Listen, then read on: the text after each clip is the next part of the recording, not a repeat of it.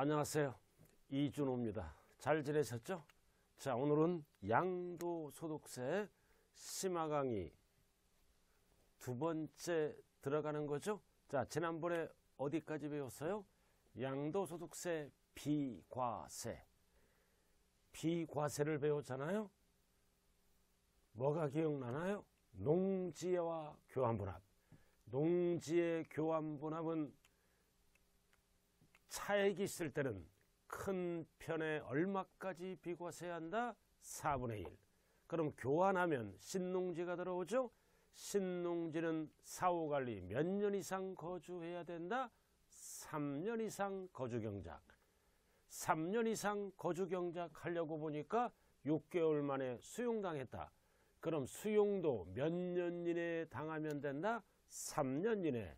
그럼 6개월 경작하더라도 부득이하니까 3년 거주경, 거주경작한 걸로 본다. 고로 농지와 교환분합은 숫자가 어떻게 된다?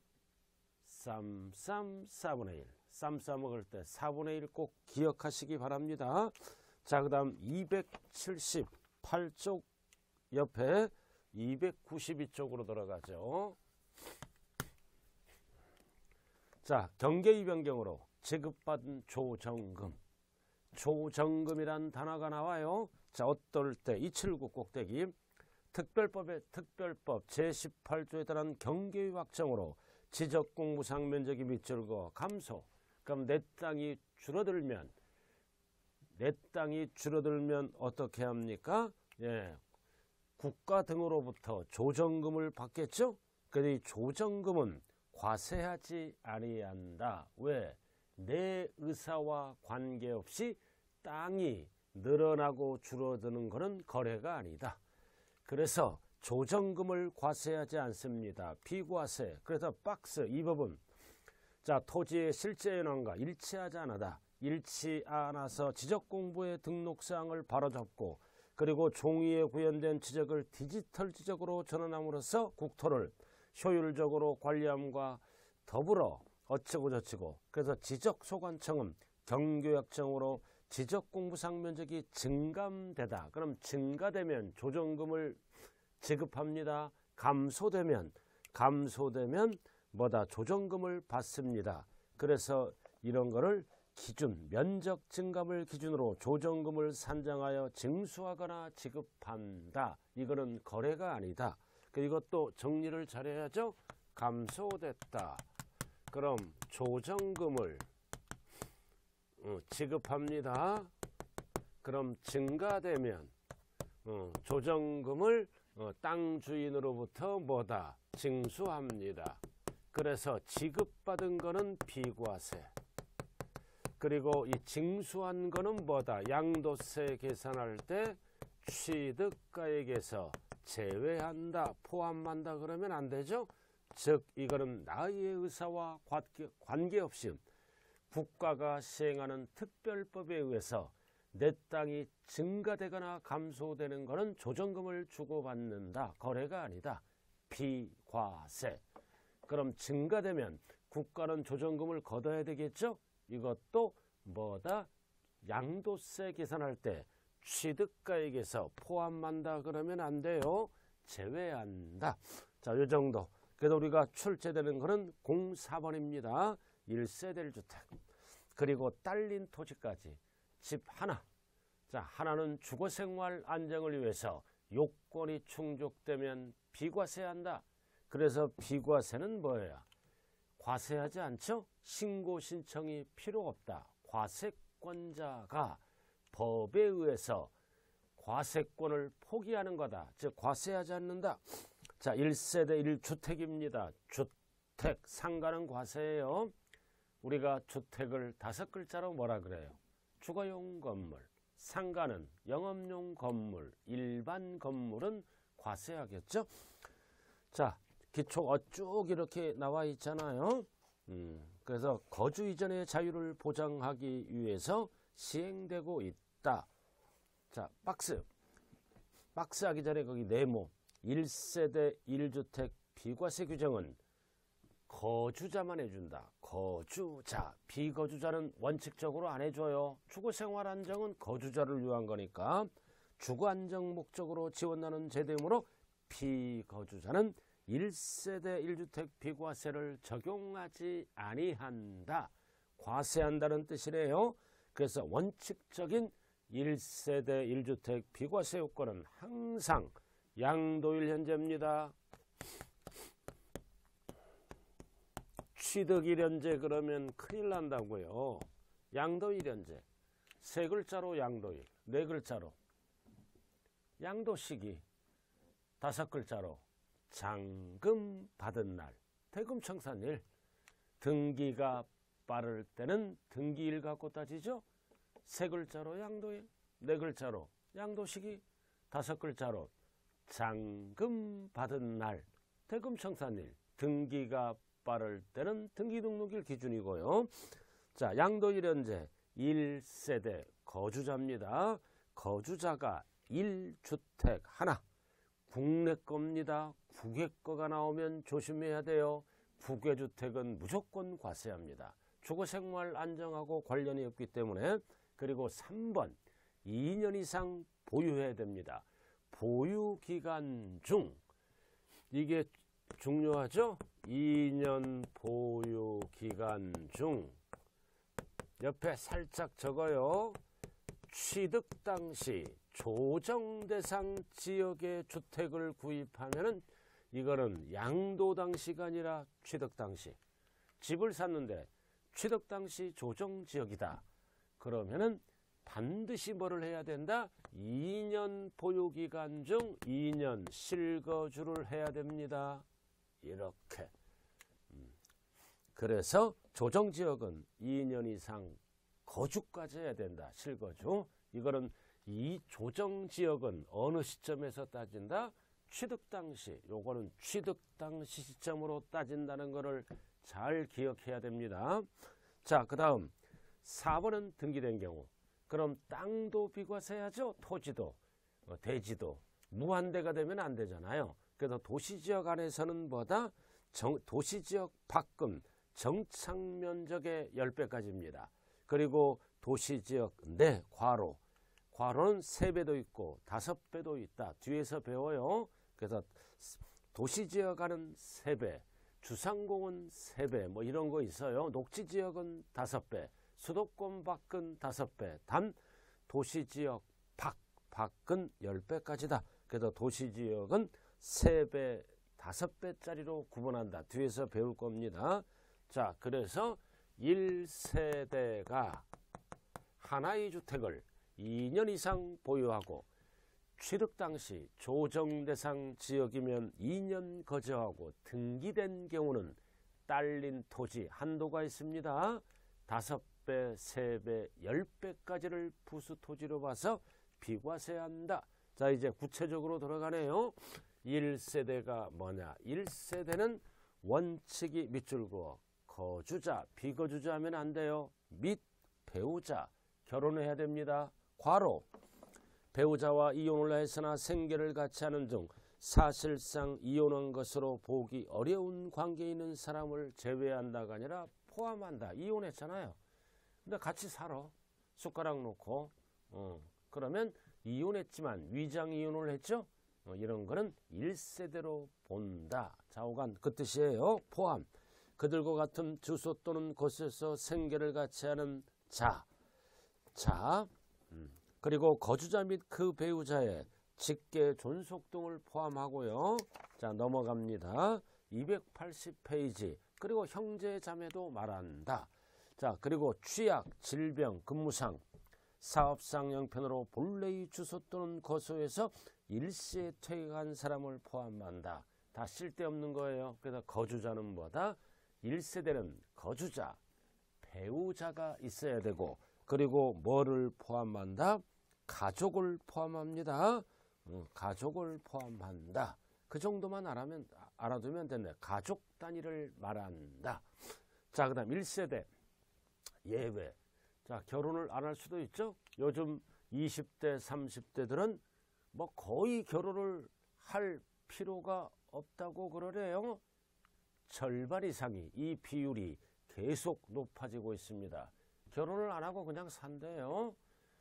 1순위가 뭘까요? 왜 결혼은 안 해요? 경제적 부담이 너무 크대요. 어, 경제적 부담 사유로 결혼을 안 한다는 층이 많이 늘어나고 있네요. 자, 그 다음. 그래서 세법은 거주자가 배우자가 없더라도 1세대로 봐주겠다. 자, 연령이 몇 세 이상? 30세 이상. 그래서 1세대가 된다는 뜻이에요. 그 다음 두 번째는 배우자가 증여가 아니라 사망 이혼. 왕년에 배우자가 있었죠? 돌아가시거나 이혼하면 1세대다. 그리고 3번 소득세법상 제4조에 따른 소득이 국민기초생활보장법에서 밑줄 그어요. 중위소득 40% 이상. 어, 소득을 10가지로 쭉 나열해서 중간소득 40% 이상 약 100만 원 전후가 되는 거야. 즉 일정한 소득이 있으면 1세대다. 알바에서 1세대다. 그런 건 인정을 안 해요. 세금을 내야 됩니다. 그죠? 어. 그래서 일정한 소득이 있어야 된다. 40% 이상.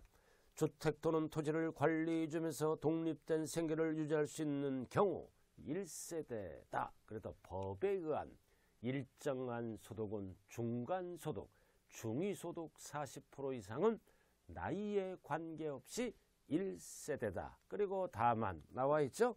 미성년자는 소득이 없잖아요. 1세대가 될 수가 없다. 그러나 미성년자도 부득이할 때는 1세대로 됩니다. 둘 중에 하나. 뭐가 나왔다? 가족의 사망 밑줄 긋고요. 가족의 사망. 그럼 미성년자가 일을 저질러서 결혼하죠? 그럴 때는 불가피한 경우에는 그러하지 아니하다.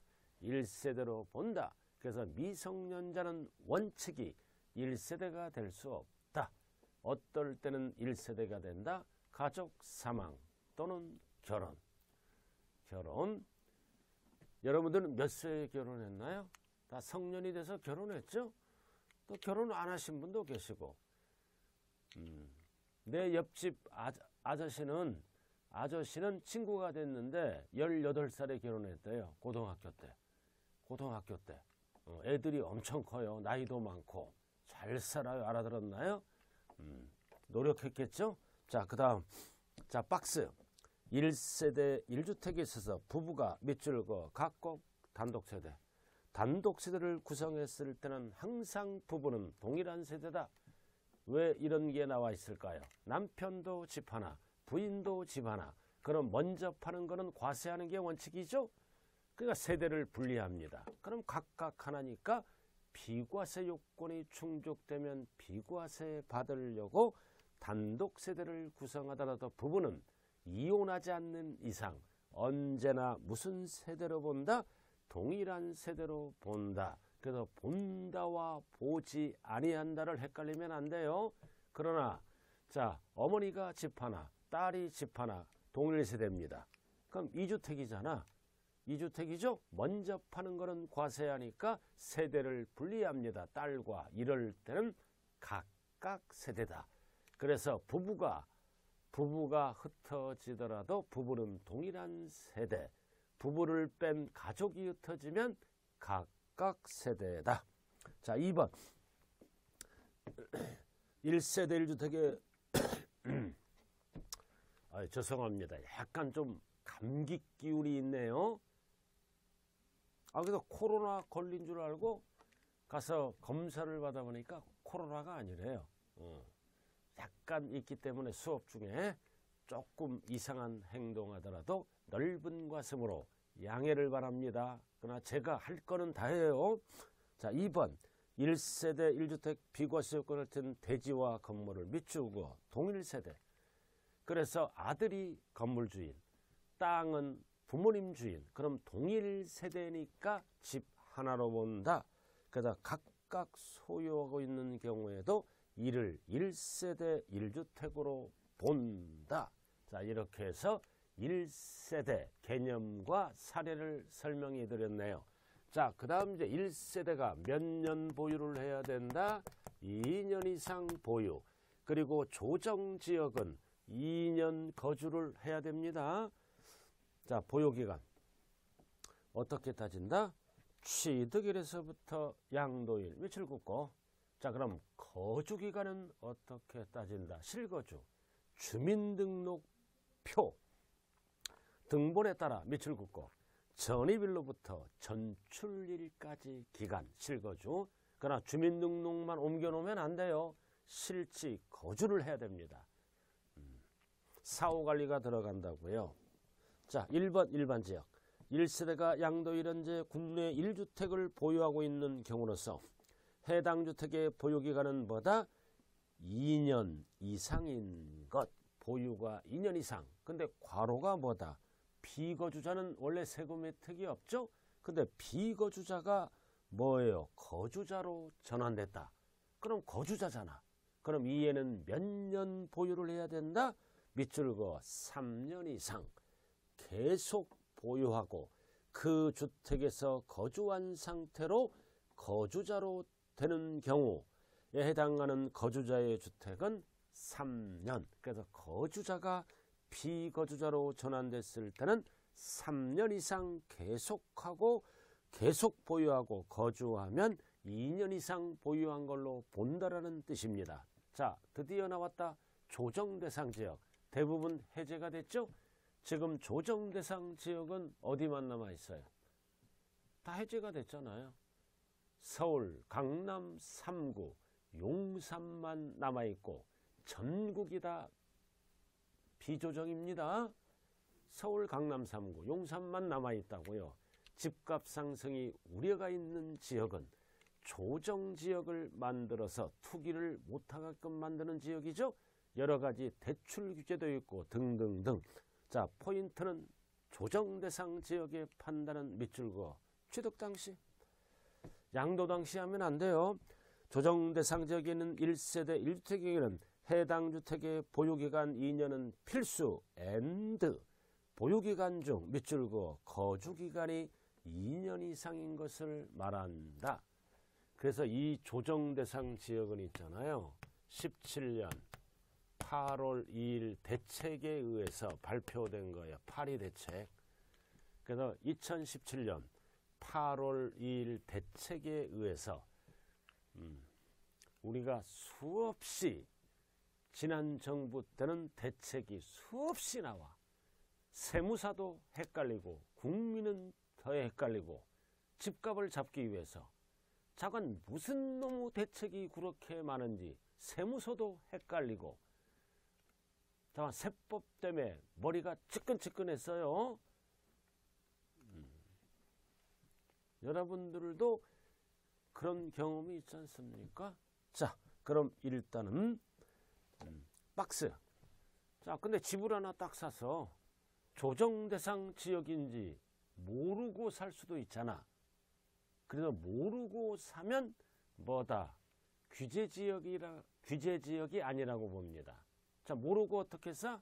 계약금을 지급합니다. 그래서 박스 거주자가 조정 대상 공고가 있는 날 이전에 이전에 그래서 이거 파리 대책이죠?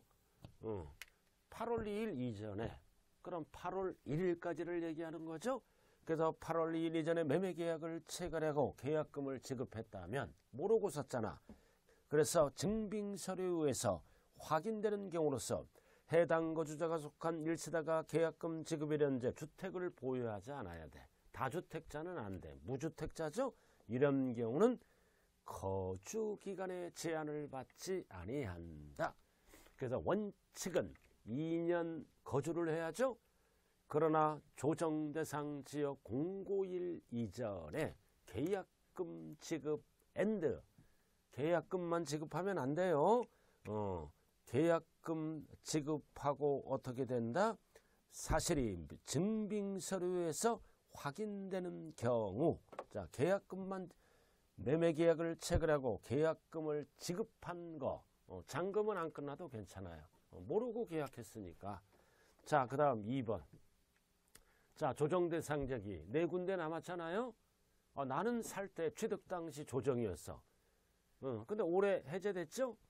그렇더라도 2년 거주한다. 그래도 조정 대상 지역의 2년 거주는 취득 당시 취득 당시 조정 대상 지역이라면 법이 바뀌지 않는 이상 계속 조정으로 갑니다.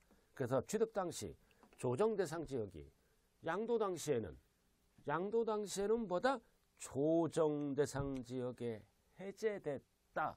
그렇더라도 취득 당시 기준이므로 어떻게 한다? 2년 거주 요건을 충족해야 된다. 음. 그래서 취득 당시 조정이면 양도 당시도 조정에 관한 규정을 적용한다는 뜻입니다. 2년 거주를 해야 된다는 겁니다. 자, 그 다음 2번 1주택의 판정. 그래서 주택이란 항상 세법은 실질과세 원칙에 따라 실질로 따지죠. 허가 여부나 공부의 용도 구분에 관계없이 밑줄고 사실상 주거용으로 사용하는 건물을 우리는 두 글자로 뭐다 주택. 이 경우 용도가 분명하지 않을 때는 어쩔 수 없이 공부상 용도에 따르고 자 1번 요거는 별 하나 붙여요. 자 공부상 주택인 경우에도 자 밑줄고 공부상은 주택이다. 근데 사실상은 영업용 건물을 사용한다. 세금은 사실관계를 따집니다. 그럼 사실상 뭐다? 건물로 과세, 건물로 과세하니까 비과세하지 아니한다는 뜻입니다. 그래서 주택으로 보지 아니하며 즉 상가로 봐서 과세하겠다는 뜻입니다. 그리고 상시 주거 목적이 아닌 콘도나 공장 내 합색소는 주택으로 보지 않는다. 그래서 주택은 상시 항상 주거용 건물로 사용하는 건물이다. 주로 가족이 사용하는 거죠. 불특정 다수인들이 사용하는 뭐다. 콘도나 합숙소는 주택으로 보지 않는다. 그래서 일반 건물로 봐서 과세합니다. 그리고 2번 딸린 토지는 무한대가 되면 안 되죠. 그래서 도시 정착면적 계산 시 괄호도 잘 봐요. 무허가 정착면적도 3배, 5배, 10배를 따질 때는 뭐다? 포함한다. 어, 실질로 따지니까 그래서 5배, 3배, 10배까지가 있다. 뒤에서 배워요. 그리고 3번. 자, 그래서 우리가 1세대가 하나의 주택을 하나의 주택에 하나하나 자, 하나의 주택은 어디에 있는 주택을 얘기한다? 국내 주거생활 안정국 왜냐하면 큰일 나요. 양도 당시 항상 양도 당시 하나 일개의 주택을 보유하고 있는 것으로 충분하며 2년 보유기간 중 다른 주택을 보유한 사실이 없어야 하는 것은 아니다. 이래야 옳은 점은 없어야 한다 그러면 틀려요. 내가 주택을 두 개, 세 개 갖고 있어. 세 개.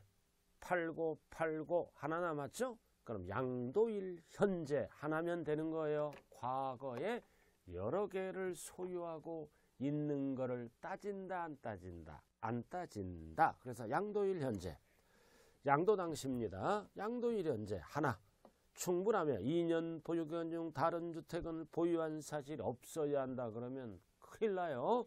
없어야 하는 것은 아니다. 자, 나머지는 여러분들이 읽어보시면 되겠네요. 아까 위에서 다 설명했어요. 1번 주택이란 주거용 건물을 말하고 2번 1, 자, 2번 1세대 1주택과 여러 개의 상가를 소유하다가 자, 주택 하나, 여러 개의 상가. 상가 팔 때는 무조건 과세하죠? 그럼 주택은 하나니까 뭐다? 요건이 충족되면 1세대 1주택으로 본다. 어, 주택 하나니까 어, 상가는 주택수에 포함을 안 합니다. 자, 3번은 아까 했잖아요.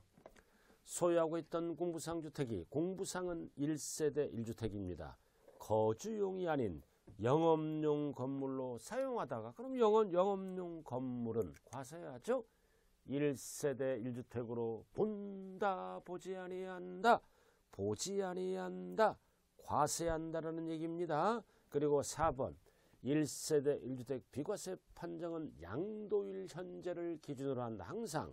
근데 다만 매매계약 후 양도일 이전에 특약, 특약에 의해서 1세대 1주택에 해당하는 주택을 멸실한 경우 그래서 멸실한 경우에는 매매 계약일 현재로 한다. 멸실했으니까 없어져 버렸으니까 그 없어지면 뭐다 땅이 돼 버리잖아요. 특약에 의해서 이럴 때는 양도일 현재가 아니라 집을 과세하는 것이므로 매매 계약일 현재.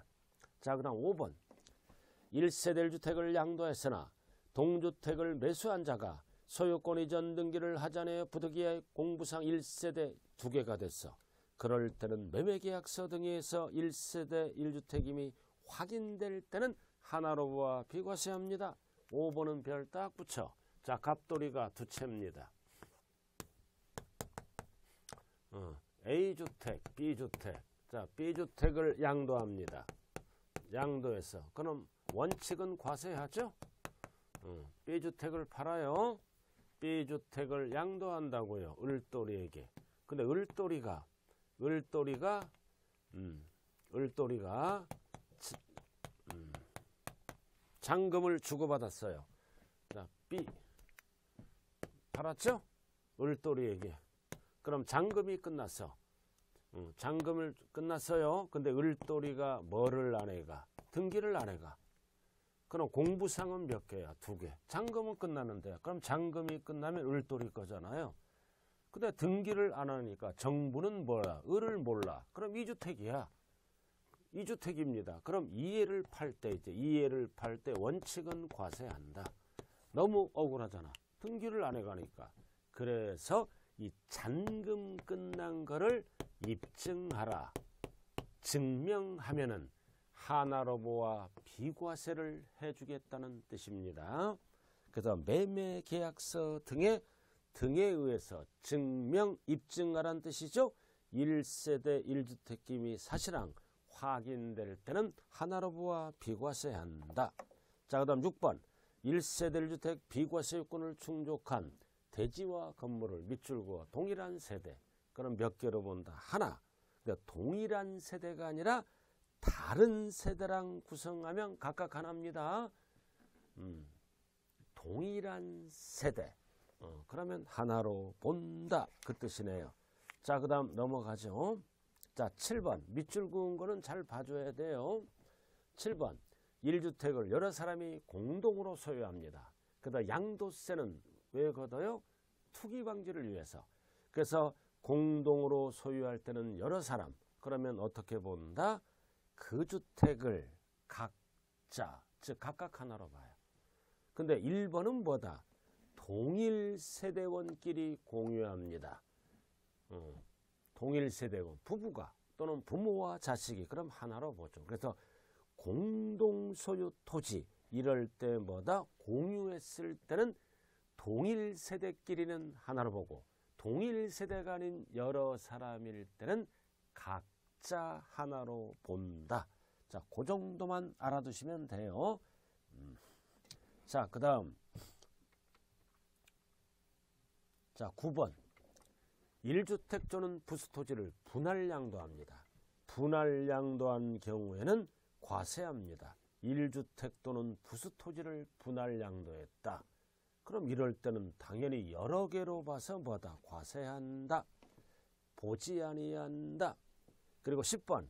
두 개 이상의 주택을 같은 날에 동시에 팔았죠? 같은 날에 동시에 팔 때는 어떻게 한다? 하나는 비과세해 줄 거 아니에요. 그래서 포인트는 밑줄 그 거주자가 선택합니다. 과세권자 그러면 안 돼요. 어, 그럼 두 개를 동시에 팔았어. 같은 날에. 그럼 하나는 비과세를 해줘야죠. 그럼 순서를 누가 정한다? 거주자가 선택하는 순서. 그리고 11번, 12번은 했고요. 자, 대표예제 한번 풀어보겠습니다. 대표예제. 1세대 1주택 양도소득에 대한 비과세에 있어서 1주택에 대해 옳지 않는 것 1번 1세대 1주택과 집 하나 여러 개의 상가 그럼 주택은 비과세 상가는 과세하죠 그 주택을 양도했다 하나잖아 항상 문제 풀 때는 비과세 요건이 때딱 가정하고 풀어야 됩니다. 그래서 하나의 양도로 본다. 그럼 상가를 양도하면 지문이 보지 아니한다로 바뀝니다. 자, 그 다음 2번. 1세대 1주택이 비과세권을 갖춘 대주야 건물을 밑줄고 동일 구성원이 동일 세대죠? 그럼 몇 개로 봐? 하나. 그래서 구성원이 각각 소유했을 경우에도 1세대 1주택으로 본다. 동일 세대니까. 그러나 다른 세대 여러 사람이 그럴 때는 보지 않습니다. 자, 그다음 1주택을 여러 사람이 공동 소유할 때는 아주 중요한 점은 각자 각자 하나씩을 소유한 걸로 봅니다. 각자 하나씩. 지분이 가장 큰 자 틀렸죠? 음. 지분이 가장 큰 자는 임대업에서 공유주택 수 따질 때 쓰는 용어입니다. 자, 우리가 사업소도 임대업. 여러 사람이 공유했다. 그럼 원칙, 지분이 가장 큰 자, 지분이 가장 큰 자가 2인 이상일 때는 각자 하나. 이렇게 되죠? 그러나 양도세는 무조건보다 양도세는 무조건 여러 사람이 공동 소유할 때는 각자 1주택, 각각 하나로 봅니다. 답은 3번이네요. 그 다음 4번. 소유하고 있던 공부상주택인 1세대 1주택을 거주용이 아닌 영업용 건물로 사용하다가 어, 영업용 건물로 사용하니까 과세하죠. 본다, 보지 아니한다, 보지 아니한다. 자, 그 다음 5번. 별장이나 기숙사나 합숙소는 1주택으로 본다, 보지 아니한다, 보지 않습니다. 그래서 별장은 사치잖아요. 그죠? 이런 거를 비과세하면 안 되죠. 별장은 주택이다 아니다.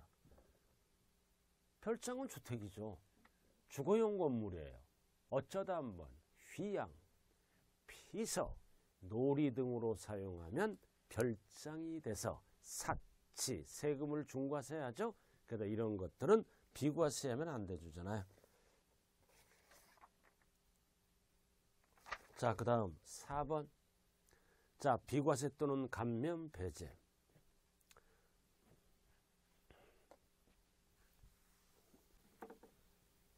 자, 비과세 또는 감면 배제. 비과세도 안 해주겠다, 감면도 안 해주겠다, 과세하겠다는 거죠.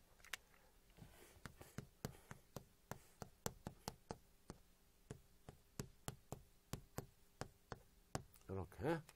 그럼 비과세와 감면은 이거는 신고 안 하는 거예요. 또는 신청을 안 하는 거다.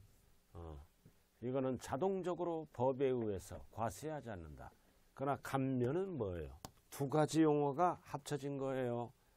감면 이거는 경감 일부 깎아주는 거 50% 경감 100%까지 깎아주는 거를 면제라 그래. 그래서 합쳐서 감면이란 용어를 씁니다. 50% 깎아주면 경감, 100% 깎아주면 면제. 그래서 이거 받으려면 반드시 세무서 가서 신고 또는 신청을 한 다음 감면을 받는 겁니다. 그럼 공통사항은 뭐다? 둘 다 세금이 없다. 차이점은 신고 안 한다. 이에는 신고합니다. 그래서 신고를 해서 세금을 계산합니다. 쭉 세금을 계산한 다음에 일부 깎아주면 경감, 100% 깎아주면 면제. 그럼 비과세는 처음부터 세금 계산을 안 해요. 그래도 공통사항은 보다 세금이 전부 또는 일부가 없다. 차이점은 신고 안 한다. 이에는 신고한다. 용어만 알아두면 돼요. 자, 그럼 4번에 1번. 자, 양도 당시 실지 거래액의 12월 초과는 고가주택의 양도다. 자, 1주택이에요. 자, 1주택은 요건이 충족되면 비과세하죠? 그러나 1주택인데 고가주택을 양도합니다. 이거 잘 봐야 돼요. 고가주택은 실지 거래가액 얼마? 12억. 초과하는 모든 주택을 가. 그래서 국세에서는 고급이라 안 해요. 지방세법에서는 고급주택이지만 국세에서는 가액 12억 기준을 갖고 일반 주택인지 고가 주택인지 판단합니다. 그래서 12억을 초과하는 모든 주택은 고가 주택입니다. 그럼 비과세 요건을 충족되더라도 세금은 어떻게 계산한다? 12억까지는 비과세를 하고 초과 부분 12억을 초과하는 부분은 비율만큼 과세가 들어갑니다. 뒤에서 배우네요. 음, 그래서 12억을 초과하는 거. 그래서 12억까지는 비과세하고 12억을 초과하는 부분은 양도세를 과세하겠다. 그래서 이 뭐다 실지거래가액 절대 기준시가 하면 안 돼요. 양도당시 그리고 미등기로 팔면은 비과세를 안 해주고 당연히 과세하죠. 그럼 우리의 중개사 시험은 감면은 참고사항 비과세 유지로 출제가 됩니다. 그 다음 3번 허위계약서를 썼다. 어, 비과세 감면을 제한합니다. 허위계약서가 뭐다? 다운계약서를 썼다. 업계약서를 썼다. 세금을 추가 징수해야죠. 그래서 허위 계약서를 쓰거나 즉 다운 계약서를 쓰거나 업 계약서를 쓰면 비과세도 안 해주고 감면도 안 해준다. 자, 내 1주택이 비과세 주택이야. 근데 업 계약서를 쓰고 다운 계약서를 써. 왜? 나는 비과세니까. 그렇죠? 그렇게 할 수 있잖아요. 상대방이 업 계약서를 써달라. 다운 계약서를 써달라. 나는 비과세니까 손해볼 게 없잖아. 쓰는 순간 세무서에 걸렸다. 그러면 비과세를 안 해주고 음, 추징하게 됩니다. 어, 세금을 추징해 버린다고요. 그래서 추징 세금만을 배우는 거야. 자, 추징하되 여러분들이 잘 들어야 됩니다. 이거. 그래서 여러분들은 절대 다운 계약서 쓰거나 업 계약서를 쓰면 된다 안 된다 안 된다 사기 부정 10년 동안 세무조사를 받을 수 있어요. 자 밑에 자, 아주 어렵습니다. 용어가 부동산 및 부동산에 관한 권리를 매매 매매 매매했죠. 밑줄 긋고 거래 당사자가 매매계 매매 계약서의 거래가액을 밑줄 긋고 매매 계약서의 거래가액을 실거래가액과 다르게 적었다. 다르게 적었어요. 매매계약서 거래가액과 실거래가액을 다르게 적었다고요. 그럼 숫자를 한번 적어봐요. 매매 계약서 거래가액이 있고 옆에 실지거래가액이 있어. 요렇게 요렇게 있다고요. 그럼 매매 계약서는 3억 5천이야. 그래 실지 받은 돈은 3억이야. 이렇게 이렇게 다르게 적었어. 그럼 업이다 다운이다. 5천만 원. 아, 계약서는 뭐다? 3억 5천. 실제 받은 돈은 3억. 업 계약서를 쓴 거죠. 어, 다운과 업 상관없어요. 그럼 차액이 얼마야? 5천. 이거 갖고 이제 세금 계산이 들어가요. 그래서 보시면 다르게 적었다. 해당 자산에 대해 양도소득 비과세 또는 감면 규정을 적용할 때 비과세 또는 감면을 받을 세액에서 다음의 구분의 금액을 뺀다. 밑줄 그어 뺀다.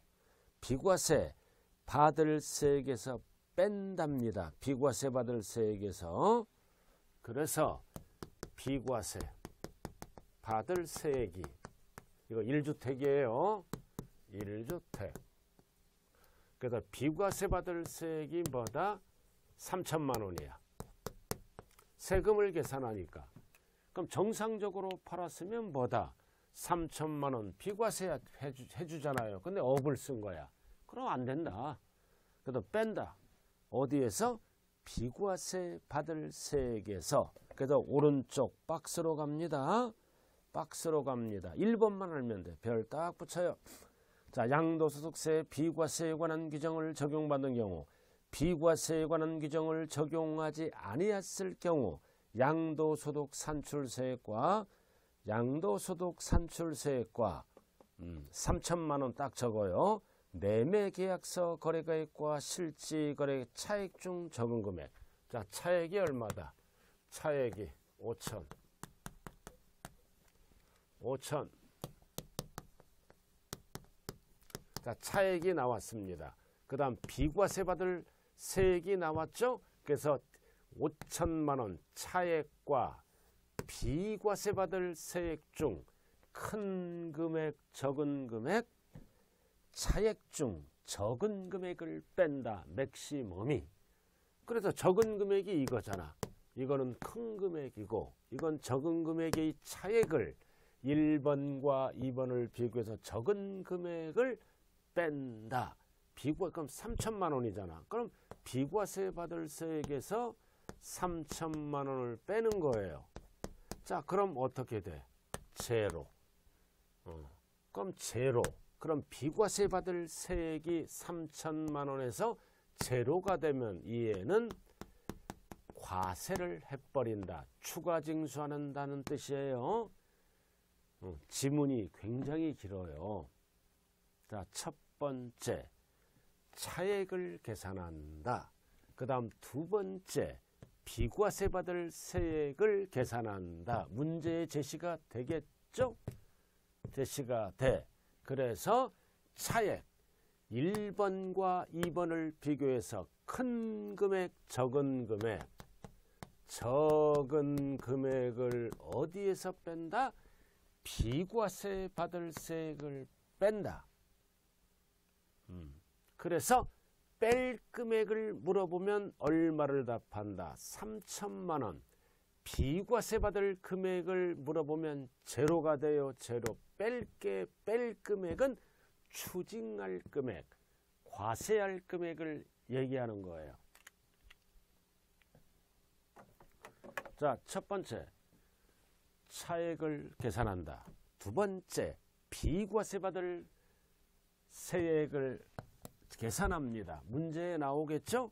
그럼 1번과 2번과 비교해서 큰 금액, 적은 금액, 적은 금액, 큰 금액 하면 환급해 줘야 돼요. 환급까지는 안 간다 이거지.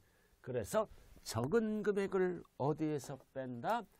비과세 받을 세액에서 뺀다. 빼. 그럼 재료. 그럼 이거 뭔 뜻이야? 비과세 받을 금액이 제로가 돼.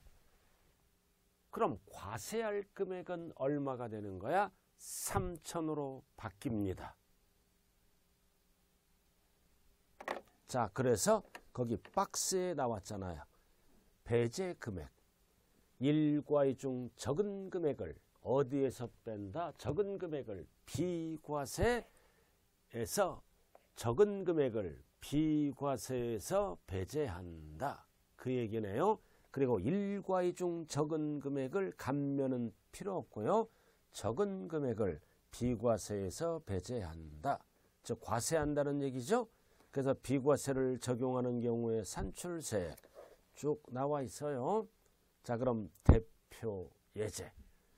자, 푸는 시간 드릴게요. 대표 예제. 한번 풀어보시고 잠시 쉬었다 대표 예제 해설 들어갑니다.